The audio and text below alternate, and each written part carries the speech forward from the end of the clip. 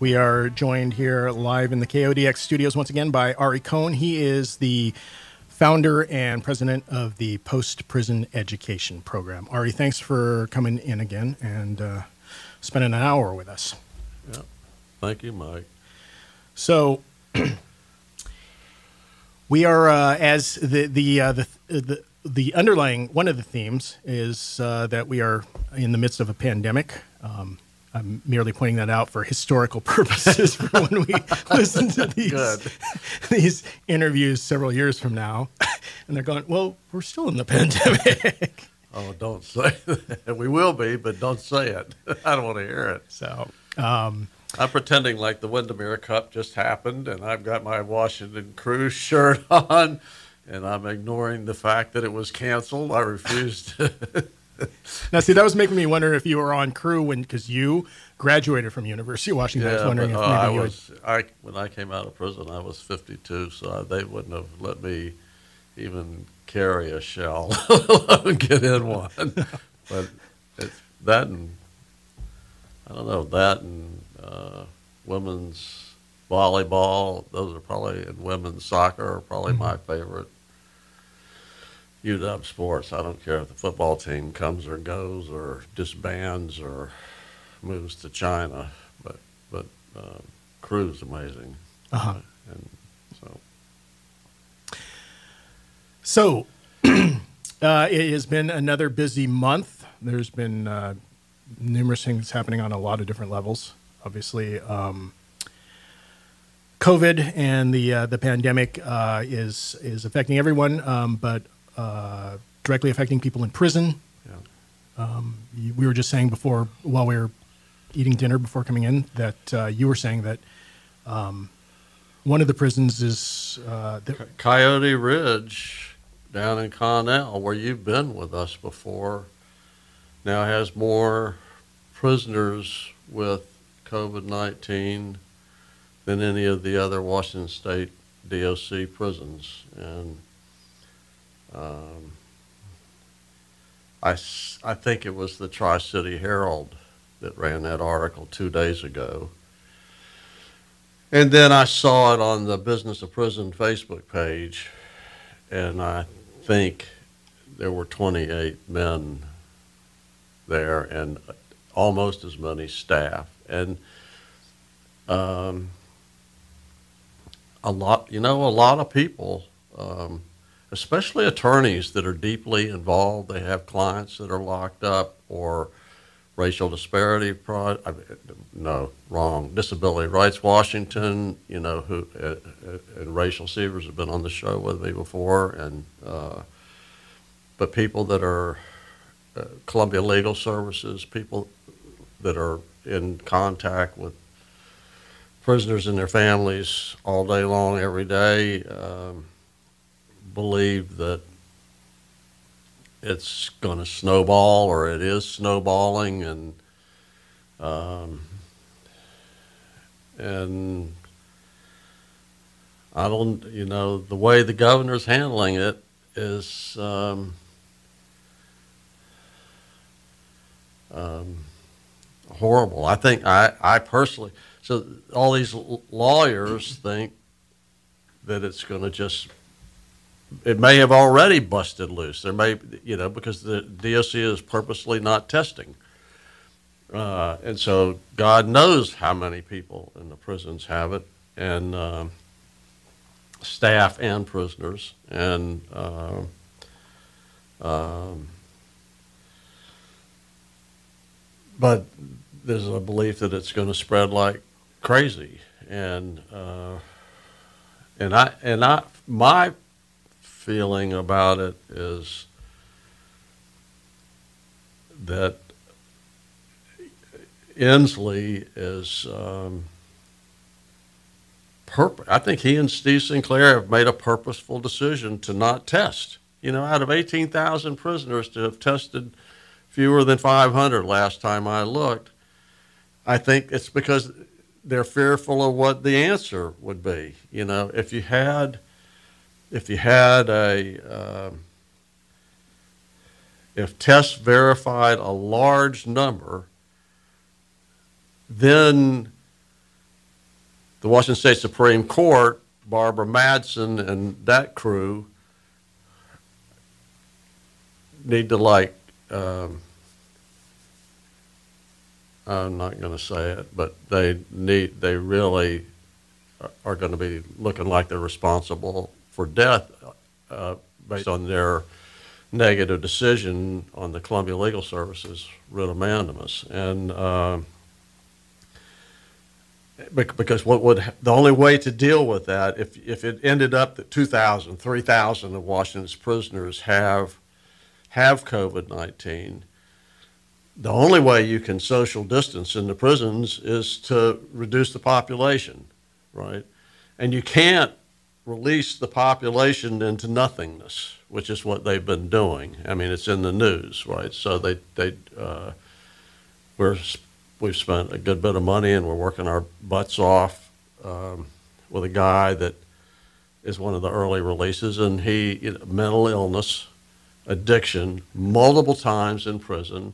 And uh, his ERD was the end of the year, right, November. And he gets told, he's advised by a counselor or somebody at, at the prison, uh, you're going home this week, right? And two days later, he's on the streets in Spokane. And um, and we're 300 miles away and we're not getting in zip cars and which you know before covid-19 we would be two or three of us in a zip car and we'd be in spokane and we'd you know take him to a restaurant and take him shopping for clothes and put a cell phone in his hand and make sure that he was in an oxford house in a clean and sober environment that's not happening now and um, so they're but if, it, if they test and they verify high numbers they have to release people. And if they release them, they cannot release them.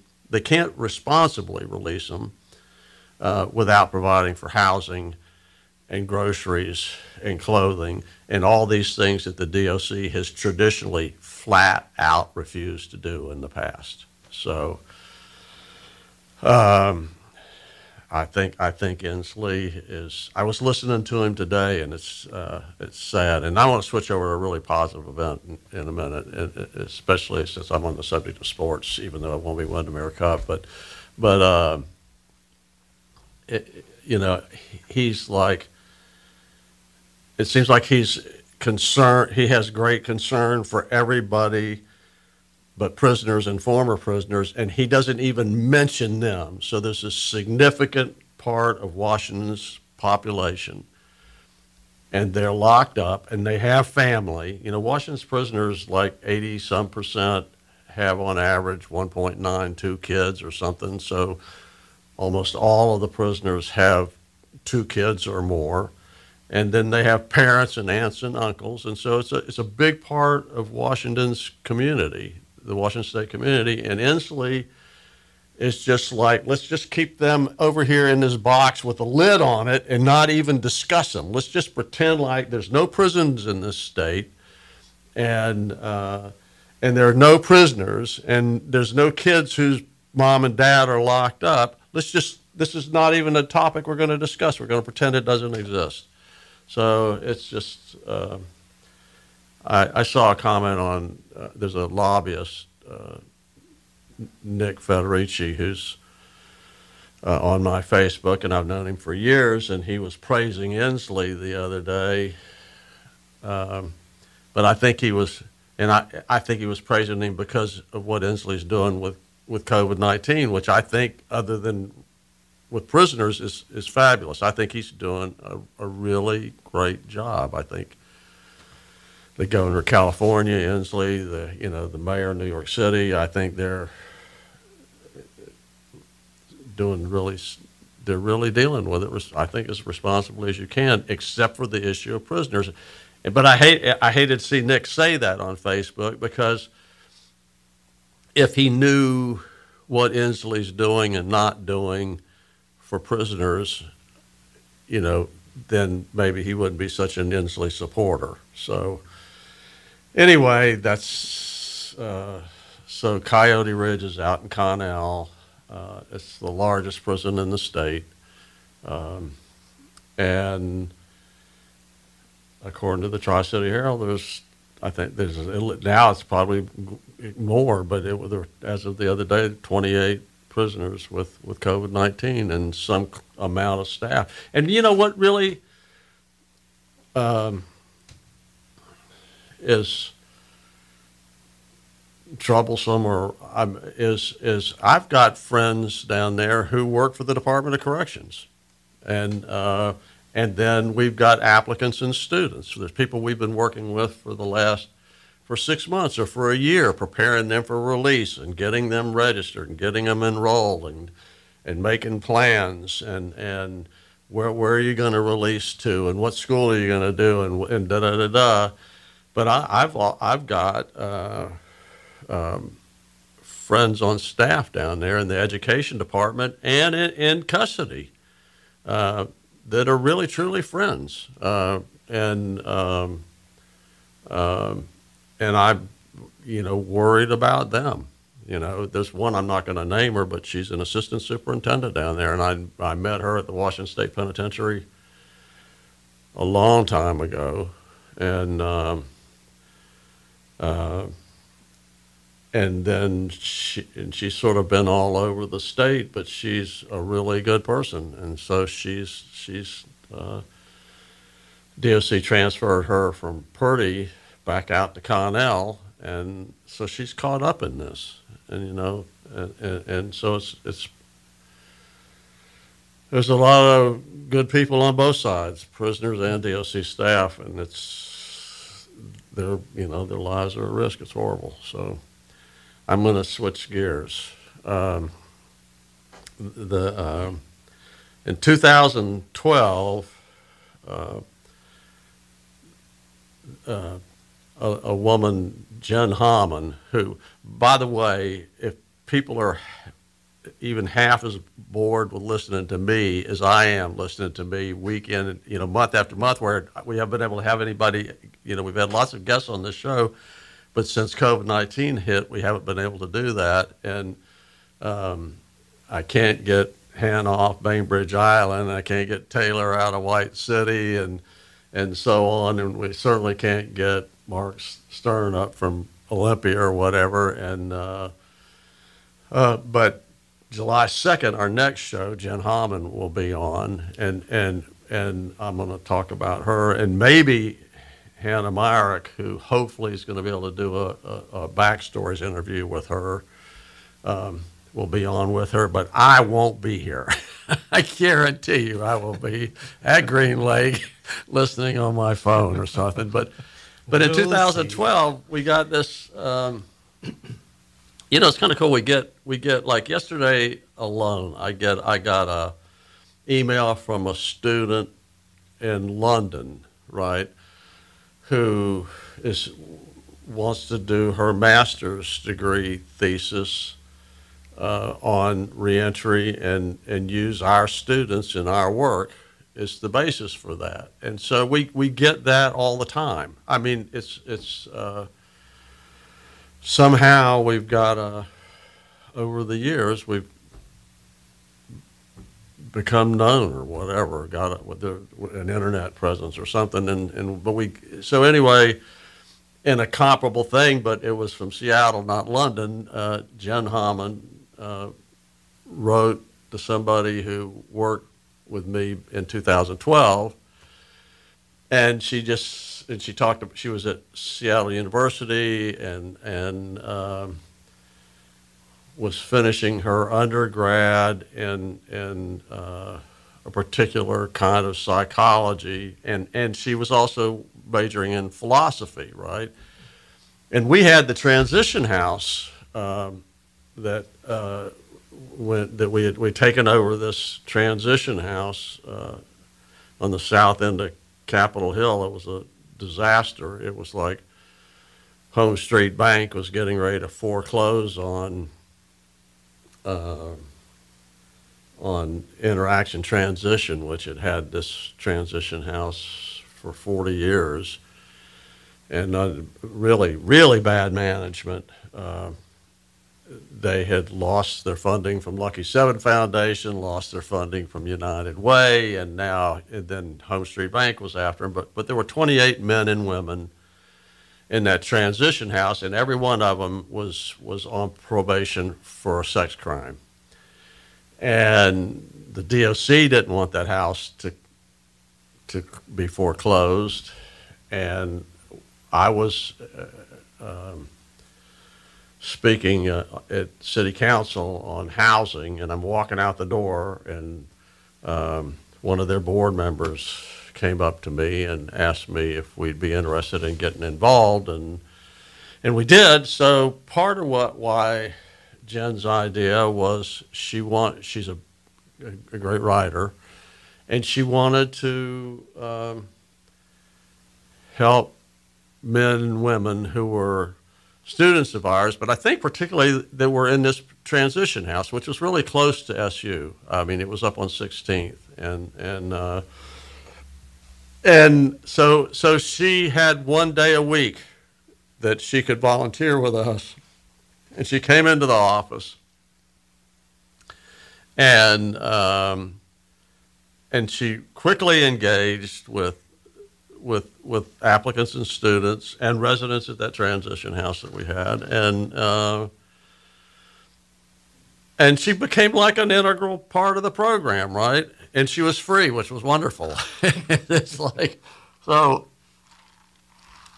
and she was passionate, motivated, and and then like one day, um, I mean, I I never thought of her as being athletic, right? And I, I didn't know anything about her personal life, and um, and if if you if she's listening, and I hope she won't like shoot me or beat me up or box my nose or whatever because she's capable of it. But but but uh, she uh, I just never thought of her as an athlete. I just was thinking of her as a philosophy major from SU who was really smart and motivated. And so one day she sort of stands up at her desk and she said, I'm quitting because I'm going to train, be training six days a week to with the goal being to get on the Olympic team, to go to the Olympics, right? And and that's like that's not the normal statement around my office, right?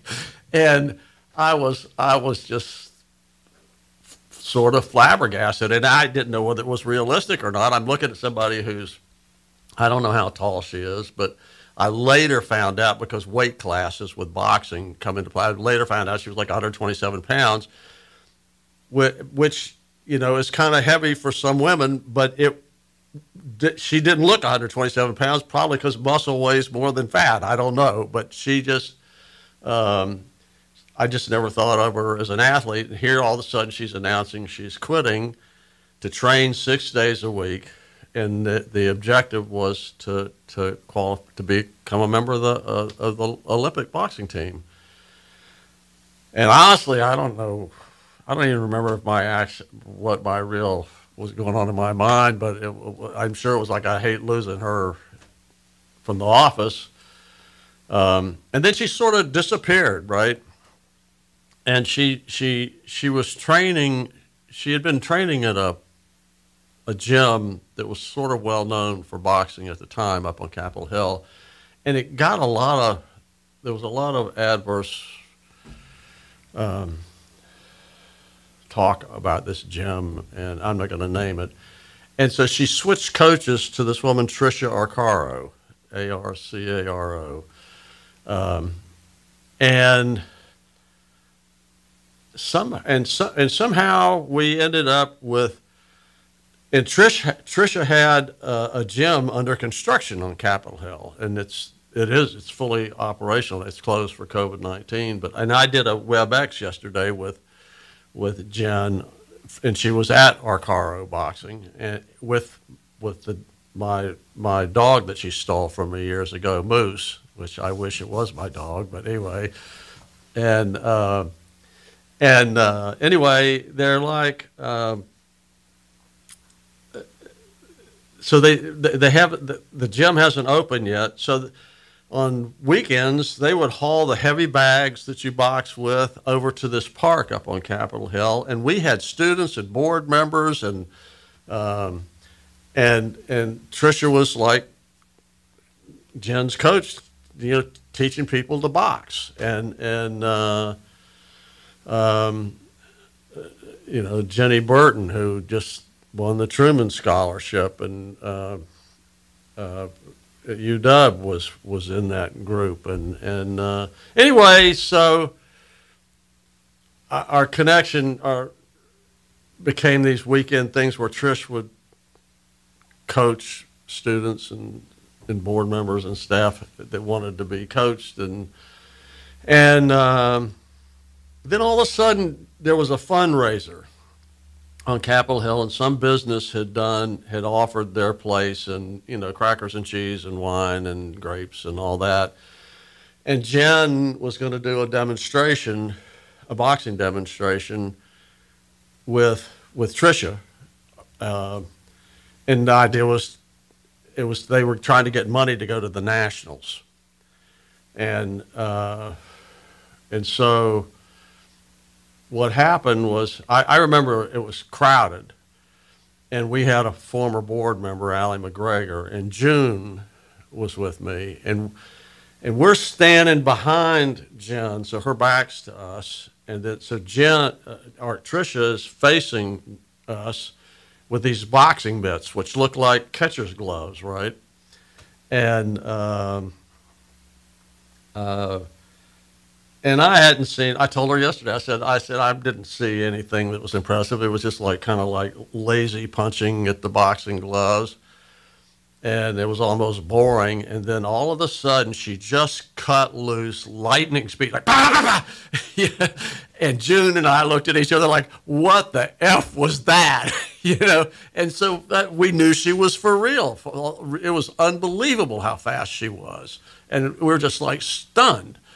And um, I think I wrote a check that night for a thousand. Allie might have written a check for two thousand, and and but the idea was to cover their hotel expenses. The Nationals that year were in Spokane, which was way better than being on the East Coast where the expenses would have been higher.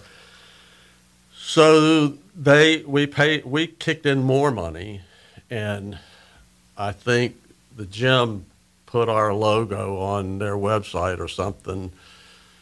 Um, and um, and the long and the short of it was she won the nationals.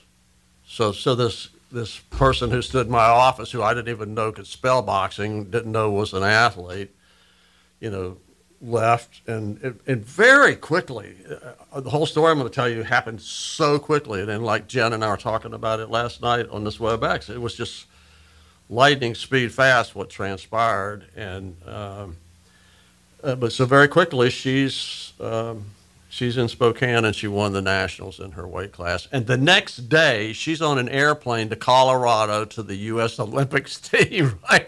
That fast. And I think she was in training with the Olympics team for a month and they left for South America for the championship for the whole hemisphere, right? And she won that in her weight class. So it was like, it was just extraordinary. So, um, then I uh,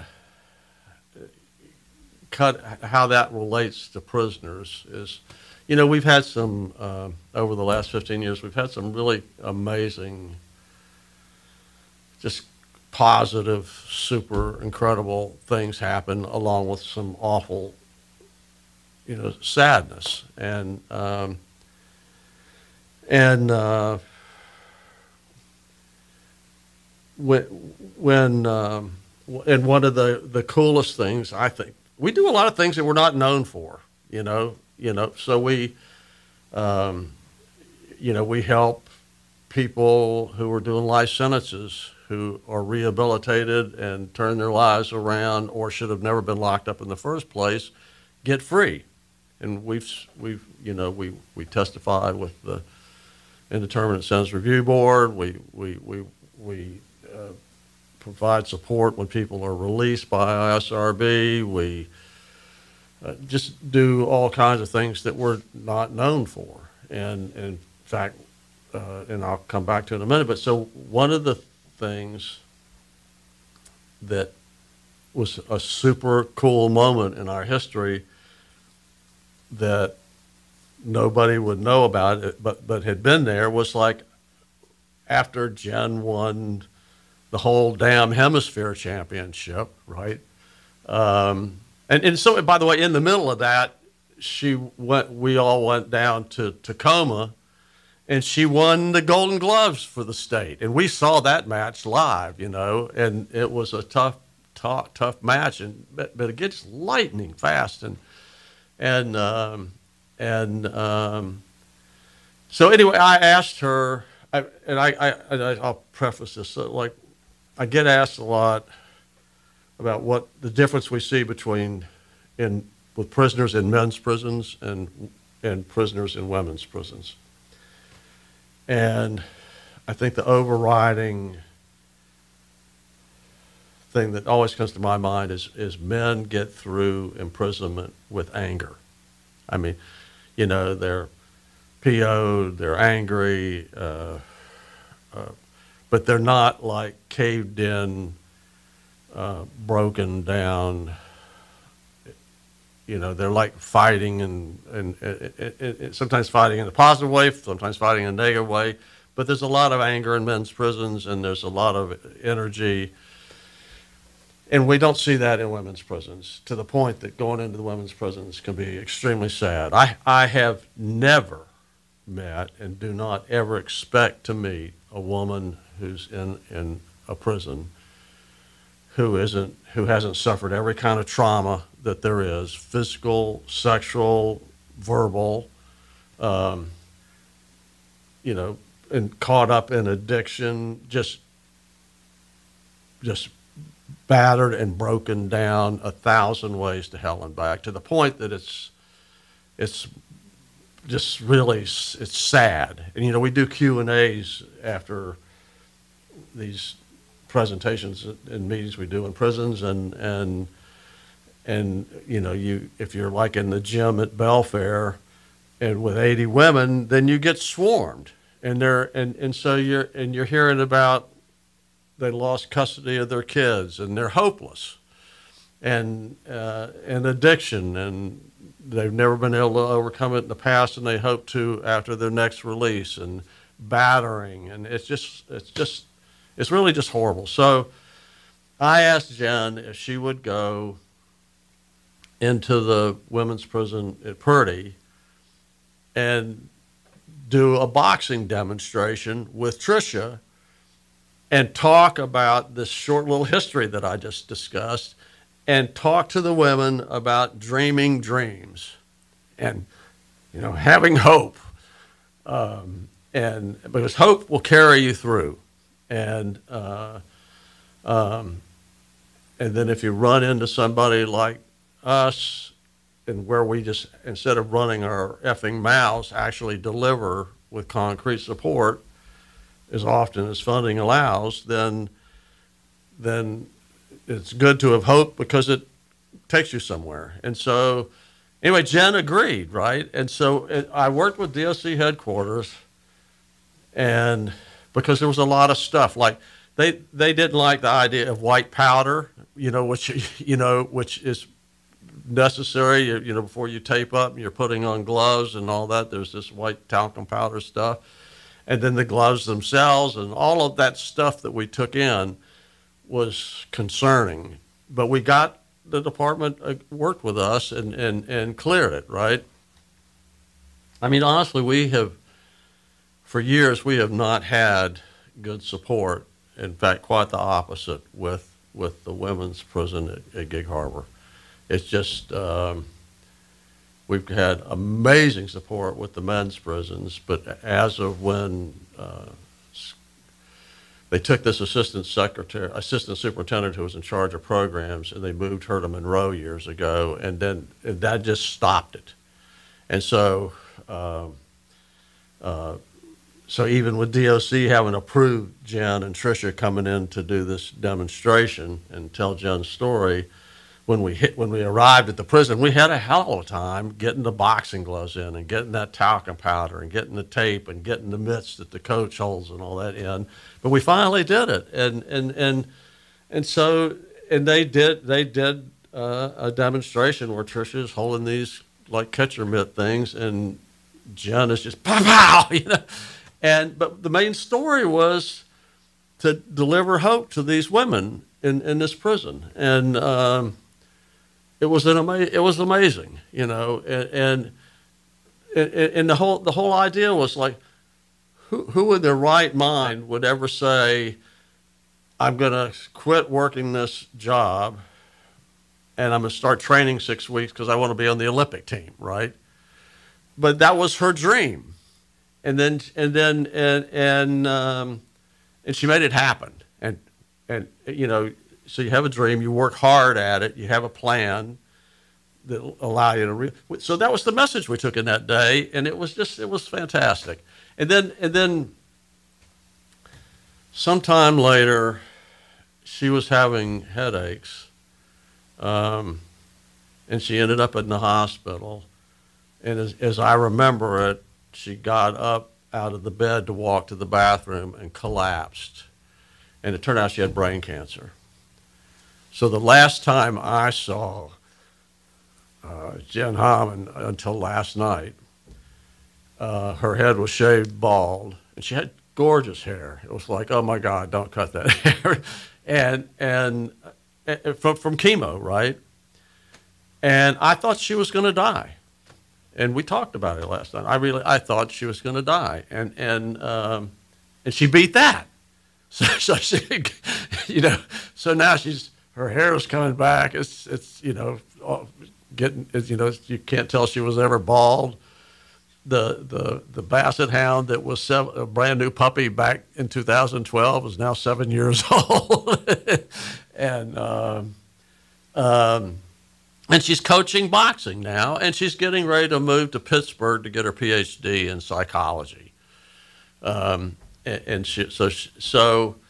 Um, anyway, that's I just think dreaming dreams is you know having dreams and realistic hopes, and then being willing to make plans. It's just a it's just a key thing that's so important to the environment that, that we care about prisoners and former prisoners and their families just not being hopeless not like being battered down but but but just dreaming dreams like Jen did and then working your butt off and making them happen. And then you hit adversity, brain cancer, and you overcome that, you know. And then you bounce back, and now she's coaching uh, boxing and headed for her PhD. She has a master's degree. So she's she'll be here our net our, July show, uh, July second, I think it is. Um, and uh, has agreed to talk about all this. And I'm hoping that Hannah will have interviewed her by then, or at least will escape Bainbridge Island and be here with her. But if not, I'll, I'll be here with Jen. But the, the guest will be will be Jen. So um, I. Uh, um, thought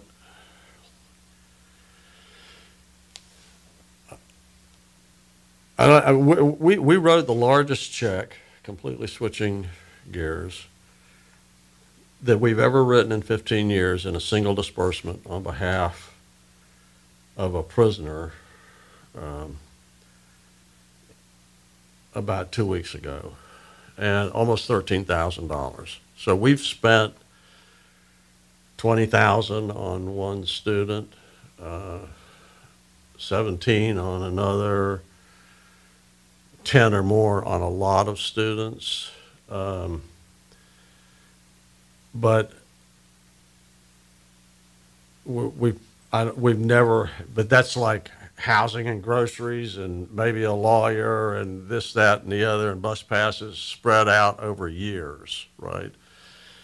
Um, for us to write a check for thirteen thousand dollars um, in one disbursement on one day for one person um, is extraordinary, and uh, I want to. I'm not going to name this prisoner's name, uh, but I kind of want to talk. I want to talk about not only about her, but the circumstances that she lived through that caused her to be in prison. But I want to talk about the Clark County legal system and and Republican haters.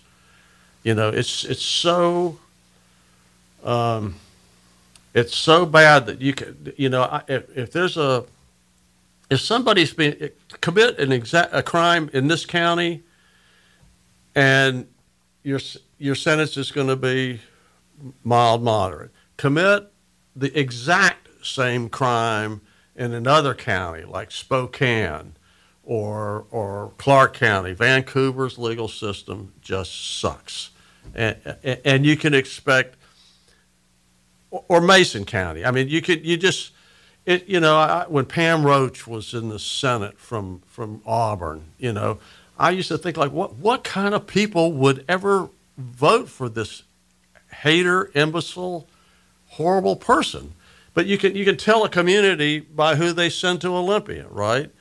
Um, and uh, like Matt Shea from from Spokane Valley, and anyway, so this um, years ago, Dawn Wilchius uh, and I were invited by a Rotary Club, a small Rotary Club. Out Gig Harbor has like they're like Baptist churches in the western North Carolina mountains. There's one Rotary Club on every street corner, right? There's little teeny ones all over. They're like the measles.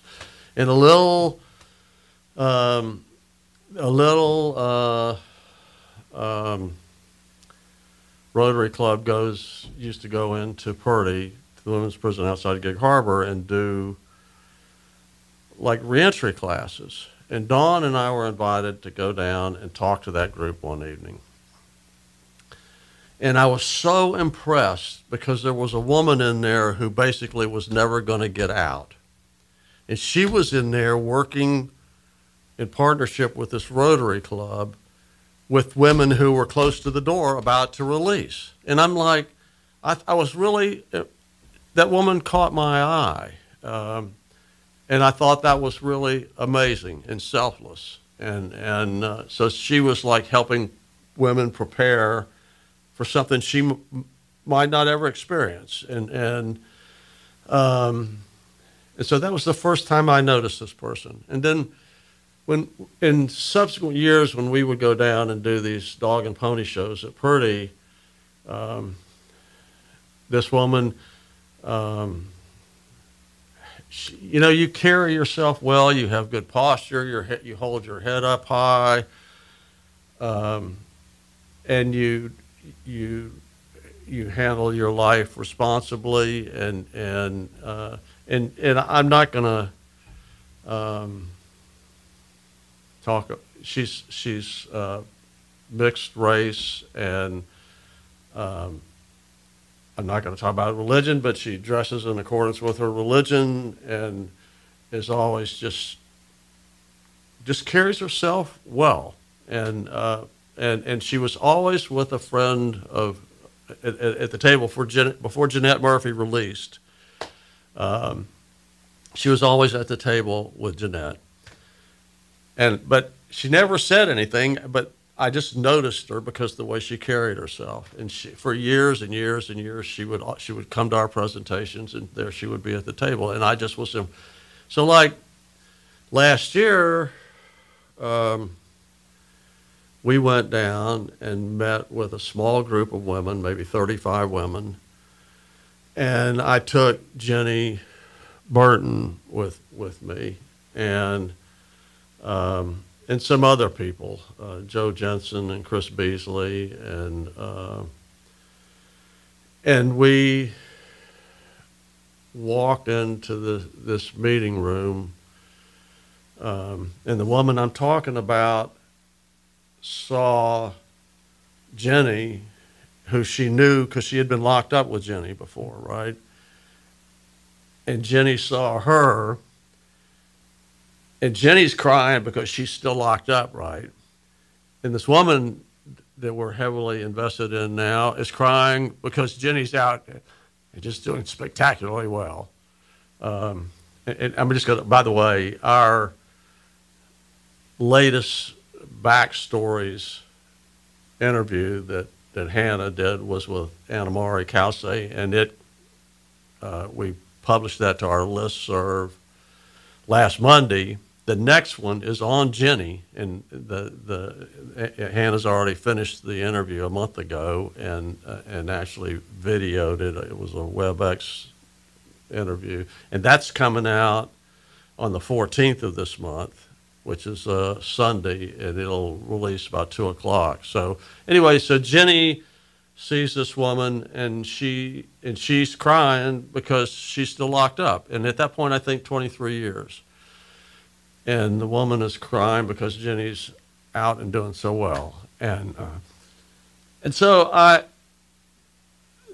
after years and years and years, and, and, then what happened was after the presentation, they broke into little groups, and and and so one of the one of the students of ours was there. You know, some women gravitated to her, and and then this woman gravitated to the group with with um, with Jenny, and um,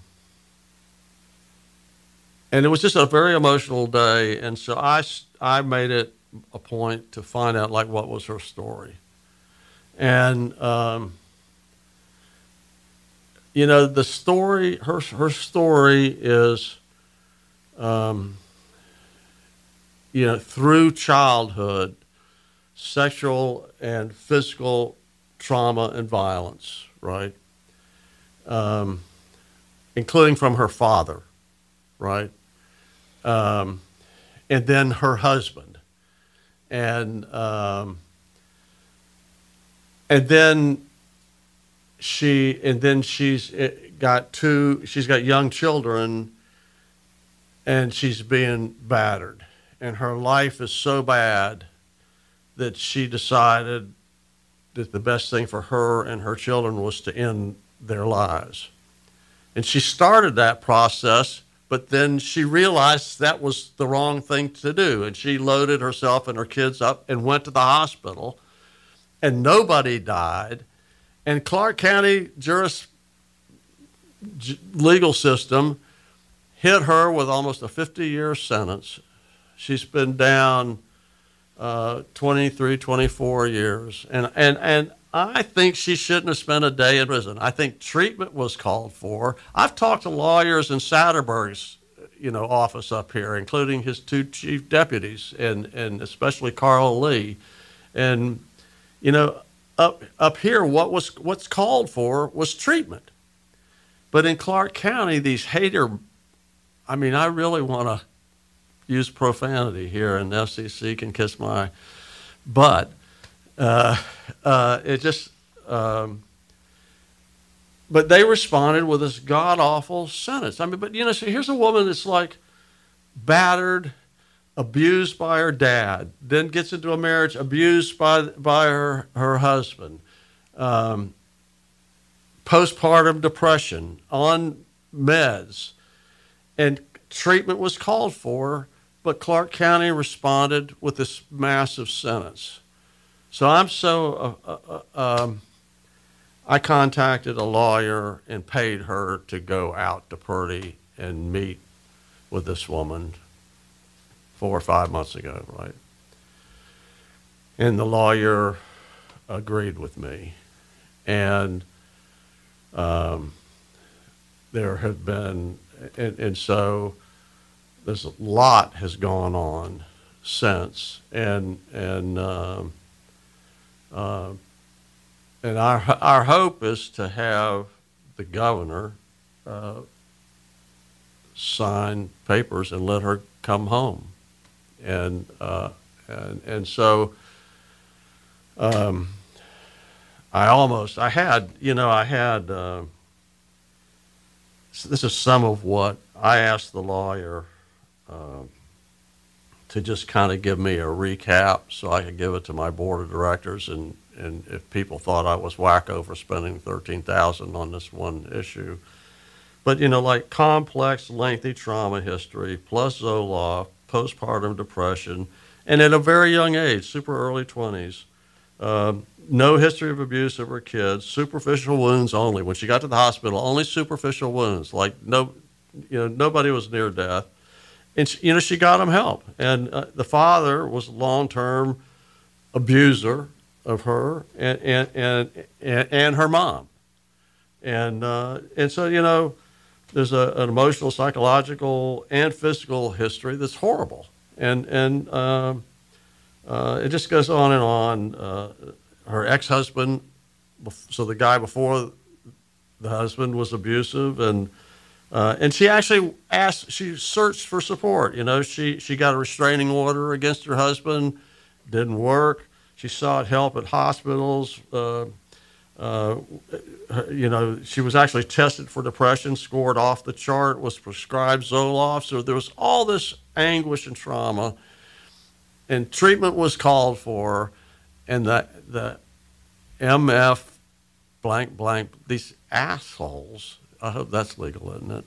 All right, and and and in Clark County responded to this great need and sadness with this monster prison sentence. So I'm I'm hoping to see her home, and uh, and we're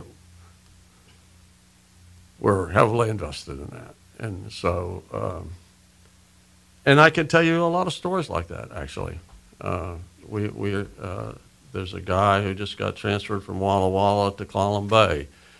That's a three three strikes conviction, and um, and I want to get and and he was a student of ours. He was out, and and uh, and I want to get him. I want to get these people that I'm, my fear is I'll die of old age, right? And these things that I want accomplished won't get accomplished before I die, and then they won't happen. So I'm trying to get these things in motion so that they're far enough down the track that I could like get hit by a metro bus and it wouldn't matter. It would still there would still be a happy ending. So um, that's um, that's you know that's that's inspiring. I don't know. It, you know, she's got more nine more years to go. It's just like that's average. I did five years in the feds. I, I told somebody the other day, I was on a WebEx with a nonprofit that works with people in prison in San Quentin, and they've got supporters all the way to New York City. And I was on this WebEx or Zoom, whatever. Uh, people were like in Canada, San Quentin, uh, or Oakland Oakland, New York, and one of the guys that was on the, the Zoom had done like 21 years or 27 years or something. And I was like, you know, I, I did five. That was enough for me. Thank you very much. I can't imagine having done, you know, 25, 27 years. I mean, I actually can't imagine, which, which is why it's so abhorrent to me. And, um, and so this lady's done 23, 24 years and has nine to go and should have never been locked up for a day. She absolutely should have never been locked up for a day. Um, it's just, uh, um, I, don't, I don't have no words. I don't have words adequate to describe my feelings about that. It's like, um, so change the subject. Ask me something.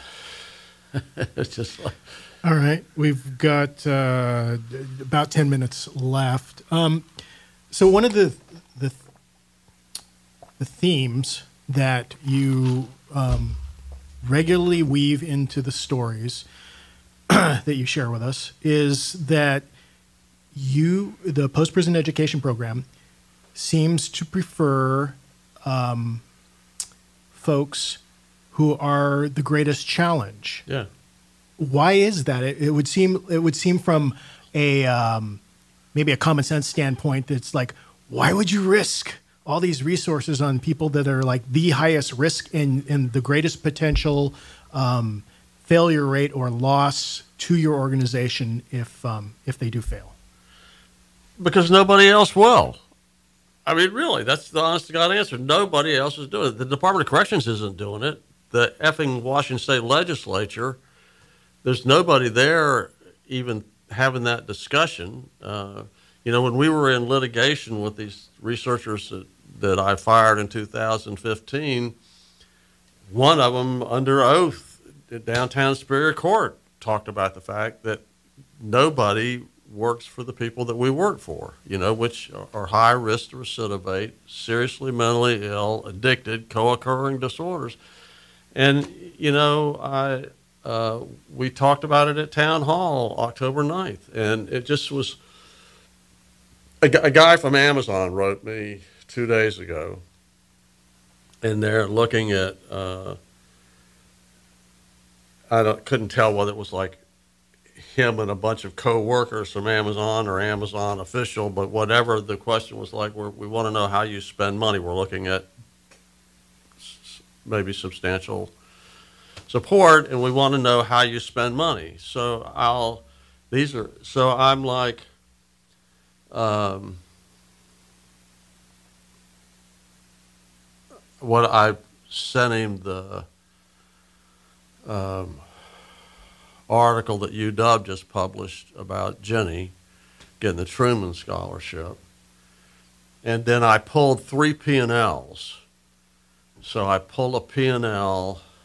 It, it was funny. I didn't know we could juxtapose multiple people's P&Ls in one document. I thought I had to do like three separate P&Ls, and I stumbled into.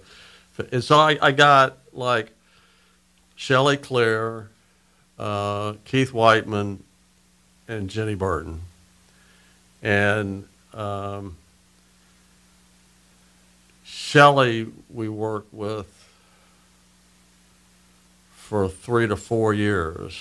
Keith was 10 years. Jenny, you know, uh, we met in 2010 and still are involved. And, and her son is a student of ours, and he comes out of prison in 45 or 60 days. And, uh, and so they're the answers.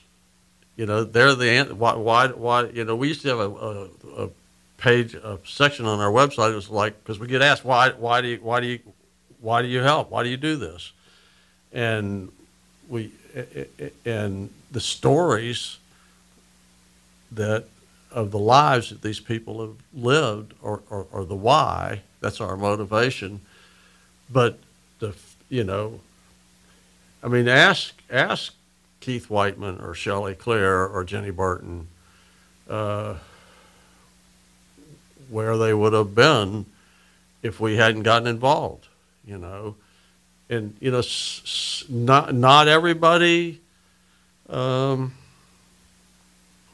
we've been heavily involved uh, with some people who haven't made it. You know, Dawn and Joe Jensen were on the show months ago talking about uh, Joe's nephew, Joey, who died from suicide, you know. We were heavily, heavily, heavily invested in him. And he had become close friends of all of ours. One of the most traumatic, horrible moments of my life was getting a text message at like 10, 10, 10.30 one night from Joe Jensen and she was at Harborview with Joey, and the text was just, "He's in the last moments of his life." That's, you know, and uh, so not everybody succeeds, but but uh, so many have, you know, and and and so and that. Uh, that, that we can do that, you know, when funded with funding, you know, we we can do that. Minus funding, we can't. Um, mediocre funding, somewhere in the middle between starving to death for money and, and optimally funding. You know, there's some successes and some misery, but but we know how to do it, and we've proven it over 15 years, and and and and the the those lives are are, are why you know it's like. Uh, plus, I think it's it's, it's a it's such a tra- it's a tragedy that this like I'm going to say God be damn worthless state has criminalized serious mental illness, you know, and that's something the legislature allows. um, the governors, one after the other, Gary Locke, Chris Gregoire, Inslee. I've known so many DOC secretaries, Harold Clarke, Eldon Vail, Dan Pacholke, Bernie Warner, you know, rotten hell, Bernie, and, you know, Steve Sinclair, and, and, and, and everybody seems to be fine with lock them up. Don't help them, don't provide treatment. Just lock them up, throw away the key. And you know, like I talked at town hall, there was this one guy, Jeremy Polston, who's sitting in in the special offender unit at Monroe for his tenth incarceration, and and um, and uh, it, it was meeting him through the Department of Corrections, asking us to get involved with him. That really caused me to to focus, to, you know, to focus on people with mental illness. It was like, until I got that call from DOC in 2010, I'd never heard of schizoaffective disorder. I'm just a dumbass country boy from Central Florida with like horse manure between my toes. I never heard that word. I had to look it up on Mayo Clinic, and um, uh, but the, the idea that that we would that our that this society's answer to serious mental illness is imprisonment is outrageous. I mean, really, it's outrageous. Or, you know, you punish, um, you know, Jenny and I mean Keith and uh, Shelley talked about it in that movie that Brave New Films did um, about our work with addiction, but you know, a parent introduces a child at six, eight, or 10 to drugs, and maybe mental illness is there or comes into the picture later, how does that make that kid be a badass that should be locked up? You know, it's just like none of that makes sense to me. And, and so my only answer to that is to fight it. And, you know, somebody want some people like, I guess so many damn people on my Facebook is ridiculous, and and and I don't know how they got there, but it's like I don't know how my first wife got pregnant. I haven't figured that out yet. But it's like but all these people just like they're on my LinkedIn, they're on my Facebook, and it's like, and they they seem to think the answer to all the maladies is to just click and post this vitriol. It's like the DOC is a bunch of whoremongers, and and then the cops are this and the, this and that, and and just click click you know, like, love, hate, all these Facebook emoticons, and and um, and just vilify this and vilify that, and and they think that's the solution for all this, all these maladies. I think the solution is fundraising and grant writing, getting money, and helping people with rent and housing and clothing and education and building lives worth living. And I did that perfectly. We got one minute to go.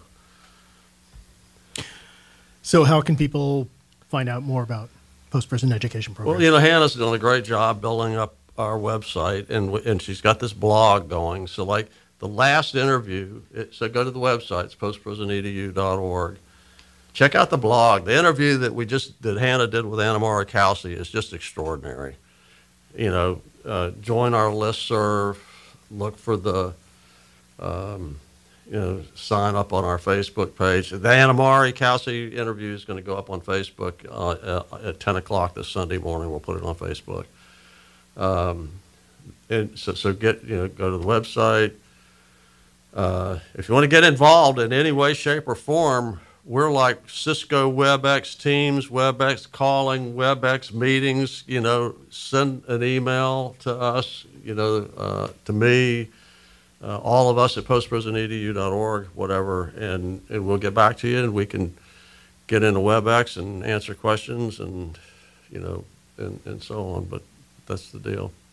All right. Well, with that, we're unfortunately out of time, but uh, we'll have your some of your crew and or yeah, at least Jen Hammond. All right. Yeah. Next month. Yeah. July 2nd.